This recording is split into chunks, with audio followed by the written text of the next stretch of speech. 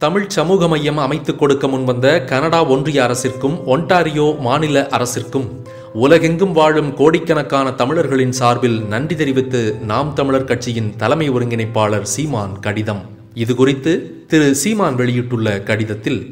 Canada நாட்டின் Ontario மாநிலத்தில் தமிழ் சமூக மையம் அமைப்பதற்காக கனடா ஒன்றிய அரசும் ஒன்டாரியோ மாநில அரசும் இணைந்து இருபத்தி ஆறு புள்ளி மூன்று மில்லியன் அமெரிக்க டாலர்கள் அளித்திருப்பது உள்ளபடியே நெஞ்சை பேருவகை கொள்ளச் செய்திருக்கிறது என்றும் தன்னை நாடி வந்த தமிழ் மக்களை அள்ளி அரவணைத்து ஆதரித்ததோடு அவர்களின் கடந்த கால துயர்மிகுந்த காயங்களை ஆற்றி இன்னொரு தாய்மடியாகவே திகழ்கிறது கனடா நாடு என்றும் அதேபோல் தங்களை வாழ்வித்த கனடா நாட்டின் முன்னேற்றத்திற்கும் மேம்பாட்டிற்கும் அயராது உழைத்தவர்கள் தமிழ் மக்கள். அப்படி உண்மையும் நேர்மையுமாக நாற்பதாண்டு காலத்திற்கும் மேலாக அரும்பாடுபட்ட தமிழ் இனத்தை சிறப்பிக்கும் வகையிலேயே கனடா தேசம் இத்தகைய சிறப்புமிக்க தமிழ் சமூக மையத்தை அமைப்பதற்கு முன்வந்திருப்பதாக தான் கருதுவதாகவும் புதிதாக அமையவிருக்கும் தமிழ் சமூக மையத்தில்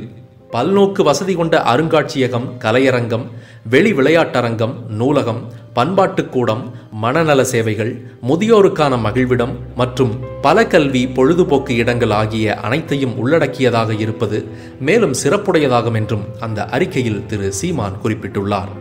மேலும் தமிழர் பண்பாட்டு மாதம் மற்றும் தமிழின படுகொலை அறிவூட்டல் வாரம் என தமிழர்களின் மொழி கலை இலக்கிய பண்பாடு மற்றும் தாயக விடுதலை போராட்டத்தை போற்றும் வகையில் கனடா நாட்டு அரசும் ஒன்டாரியோ மாநில அரசும் தொடர்ந்து முன்னெடுத்து வரும் பல்வேறு சிறப்புமிக்க நடவடிக்கைகளில் மற்றொரு மைல்கல்லாக தற்போது அமையவிருக்கும் தமிழ்ச் சமூக மையம் திகழும் என்பதில் எள்ளளவும் ஐயமில்லை என்றும். புலம்பெயர்ந்து வந்தபோதிலும் கனடா மண்ணின் அரசியலோடு இயைந்து வாழும் அனைத்து குடிமக்களையும் சமமாக கருதி அவர்களின் அடிப்படை தேவைகளை நிறைவேற்றி தருவதோடு மட்டுமல்லாமல் தன் நாட்டில் வாழும் தனித்த தேசிய இனங்களின் பண்பாட்டு கூறுகளையும் போற்றி பாதுகாக்க முன்வந்திருக்கும் கனடா நாட்டு அரசின் உயரிய நோக்கம் என்றும் பாராட்டுக்குரியது என்றும்